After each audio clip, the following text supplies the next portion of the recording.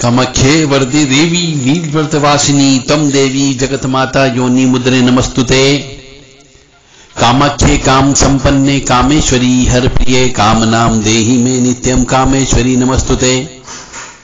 काम दे काम रूपस्ते, सुभगे सुर सेविते करोमी दर्शन देव्यम सर कामार सिद्धये ओम महेशानी महामाए चामुंडे मुंडमालिनी आयु आरोग्य ऐश्वर देही में देवी परमेश्वरी। ओम जयंती मंगला काली भद्रकाली, कपालिनी। दुर्गा क्षमा शिवा धात्री, स्वाहा सदा नमस्तुते। ओम सर्वमंगल मांगल्ये, शिवे सर्वासादिके शरण्ये त्र्यंबके गौरी नारायणी नमस्तुते। दुर्गति नाशिनी, दुर्गा जय जय, काल विनाशिनी, काली जय जय। उमा रमा ब्रह्माणी, जय जय, सीता राधा रुक्मणी, जय जय। महालक्ष्मी नमस्तुभ्यम नमस्तुभ्यं सुरेश्वरी। हरि प्रिय नमस्तुभ्यम नमस्तुभ्यम दयानिधि। देव राधा ट्रस्ट की तरफ़ से सत्यवाणी की प्रस्तुति। आज हम रहस्यमय ज्ञान लेकर के आए हैं। मेरे पास अधिकांशतः मैं देखता हूँ। महिलाओं के ऊपर तंत्र विद्या ज़्यादा होती है। विभिन्न विभिन्न प्रकार की तंत्र विद्या हो रही है। उदाहरण के लिए अपन लेके देखें। कहीं पे पति छोड़ करके चला गया है, पति ने छोड़ दिया है। कहीं पर वशीकरण हो गया है। तो किसी ने खिलाई पिलाई कर दी है। तो किसी के साथ में कोई प्रेत आकर के सो रहा है। तो किसी के शरीर के अंदर से खून निकल रहा है। शरीर में विभिन्न प्रकार के दाग हो रहे हैं। तो किसी को सिर के अंदर सुई चुभ रही है। तो किसी के अंदर शरीर के अंदर अलग अलग जगह दर्द होता है। किसी की कोख बांधी है तो बच्चे पैदा नहीं हो रहे हैं। और किसी के यहाँ इतनी ज़्यादा दरिद्रता आ गई है कि वह हर समय रोती ही रहती है। और तंत्र विद्या की वजह से उनका मानसिक विक्षिप्तता आ गई है। और तंत्र विद्या की वजह से कुछ इतने ज़्यादा बीमार पड़ गए हैं कि पूरा पैसा बीमारी में, दुखी में खर्च कर दिया है और आज कंगाली की स्थिति में आ गए हैं। ये सब स्त्रियों के बारे में ही बात कर रहा हूँ मैं, अपनी माता बहनों के बारे में। ऐसा क्यों कि सबसे ज़्यादा पीड़ित जो है, माता बहनें ही रहती है। तंत्र से पीड़ित मनुष्य कम रहता है, पुरुष कम रहता है, स्त्रियाँ ज़्यादा रहती है। स्त्रियों पर तंत्र विद्या क्यों ज़्यादा लग जाती है?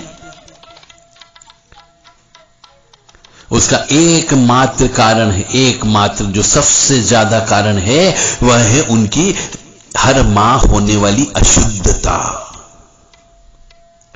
यदि कोई स्त्री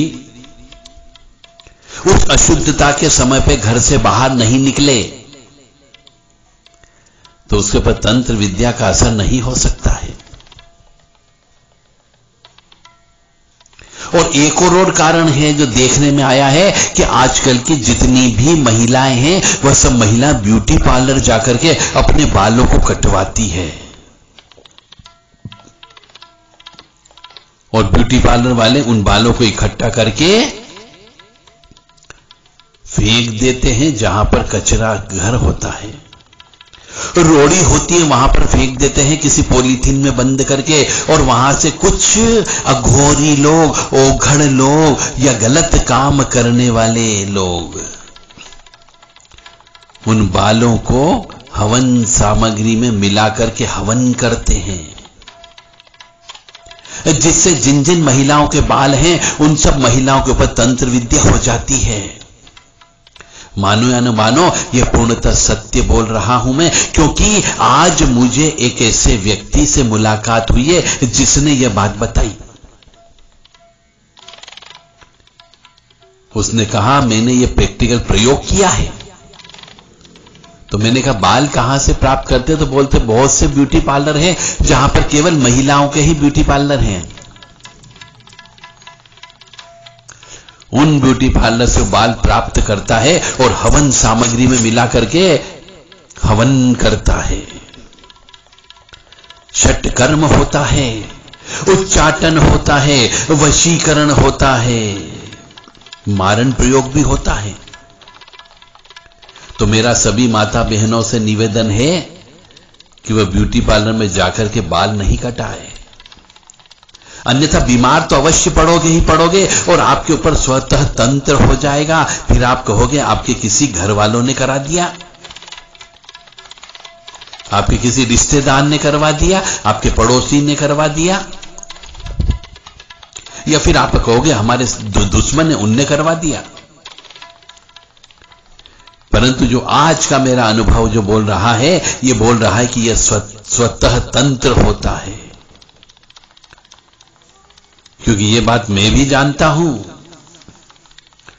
कि महिला के बालों को यदि हवन सामग्री में मिलाकर के विशेष मंत्रों से यदि आहुति दी जाए तो जिन जिन महिलाओं के बाल उसके अंदर प्रयोग किए गए हैं, उन सब महिलाओं के ऊपर कुछ न कुछ तंत्र विद्या का असर अवश्य होगा, उस मंत्र का प्रभाव अवश्य पड़ेगा।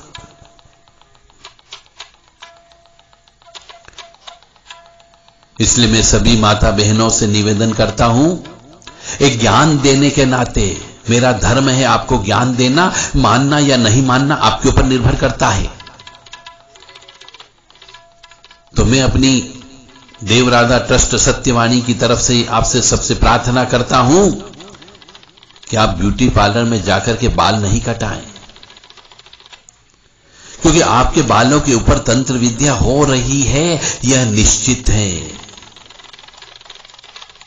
क्योंकि बाल एक ऐसी चीज़ होती है जिससे पागलपन भी किया जा सकता है, किसी की कोख भी बांधी जा सकती है, किसी का वशीकरण भी किया जा सकता है, किसी का उच्चाटन भी किया जा सकता है, और तरह तरह की बीमारियाँ भी दी जा सकती है। मैं जो कह रहा हूँ, इसके अर्थ को गहराई से समझने का प्रयास करिएगा।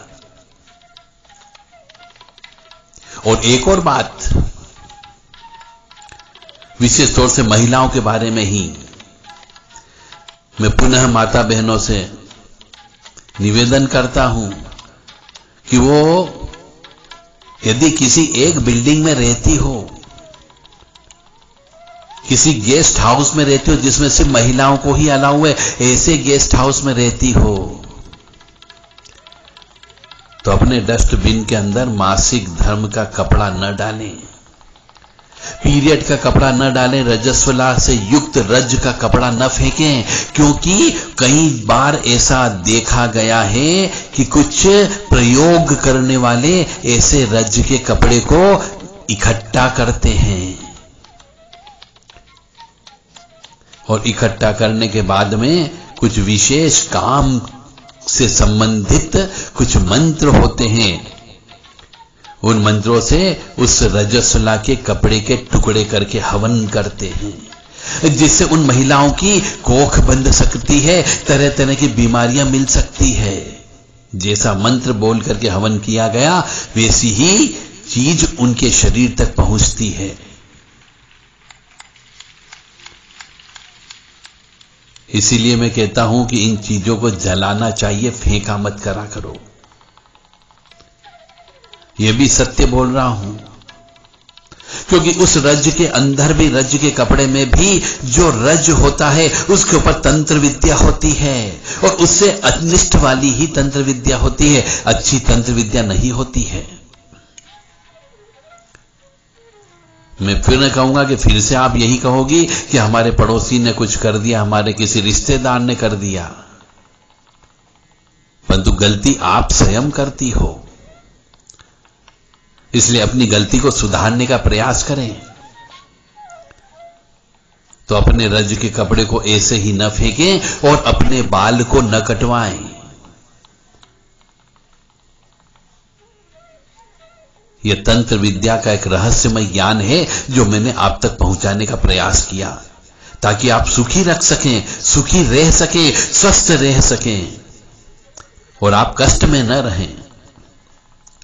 मानना या नहीं मानना आपके विवेक पर निर्भर करता है।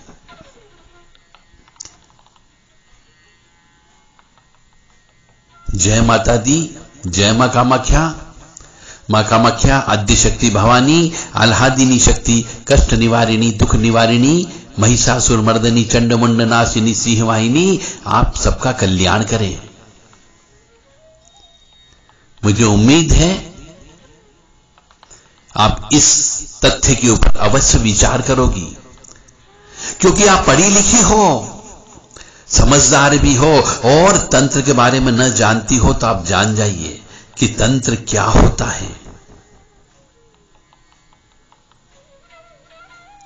तंत्र की अधिष्ठात्री देवी माँ कामाख्या के चरणों में प्रणाम। जय माता दी।